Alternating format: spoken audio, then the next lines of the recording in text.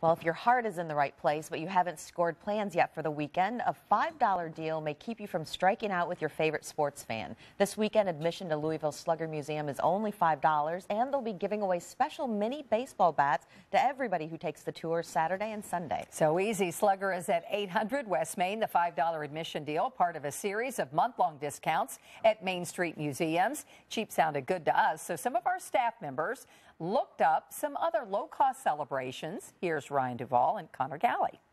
Valentine's Day is less than a week away, and it's no surprise that some of us aren't very prepared. But if it's your wallet you're worried about, we've got some solutions that won't break your heart or the bank. First off, ditch the flowers, because nothing says romance more than I love you so much that I killed a plant for you. Am I right? Instead, try one of these cookie bouquets.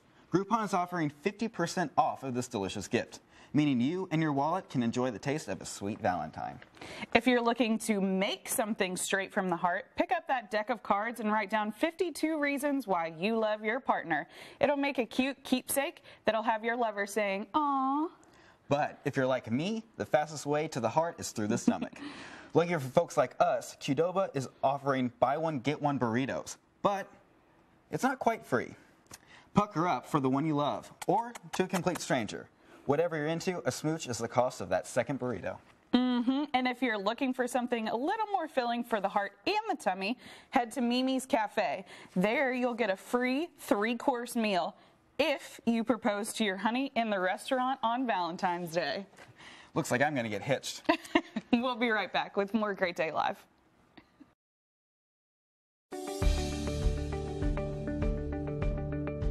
I'm here with former Dallas Cowboys.